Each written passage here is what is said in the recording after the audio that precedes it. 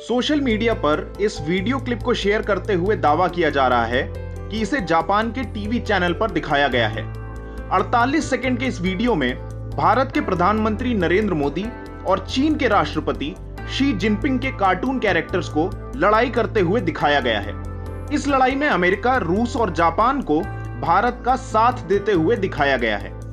कई social media users इस clip को शेयर करते हुए इसे जापान के टीवी चैनलों पर चलने वाली क्लिप बता रहे हैं। ऐसे दावों से यह संदेश जा रहा था कि खुद जापान कह रहा है कि वो इंडिया के सपोर्ट में है और चीन के खिलाफ है। इन बातों के दूरगामी परिणाम हो सकते हैं। मगर इसका सच क्या है?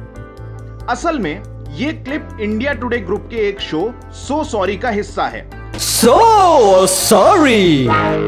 सो सॉरी एक ऐसा सेगमेंट है जिसमें कार्टून कैरेक्टर्स की मदद से मौजूदा राजनीतिक या गैर राजनीतिक मसलों पर टिप्पणी की जाती है। ये वीडियो चैनल ने 27 जून को अपलोड किया था, जिसे जापान के एक यूट्यूबर ने उठाया और इसके एक हिस्से को काटकर जापानीज टेक्स्ट के साथ 28 जून को अपलोड किया।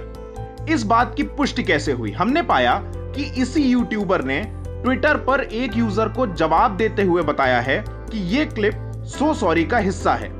इस जापानीज यूट्यूबर ने सो सॉरी से एक और वीडियो को जापानी भाषा में लिखे टेक्स्ट के साथ 3 जुलाई को भी अपलोड किया था। इस तरह वीडियो के साथ किया गया दावा कि जापान के टीवी पर कार्टून की शक्ल में इस तरह का पॉलिटिकल स्टेटमेंट दिखाया गया है, गलत निकला।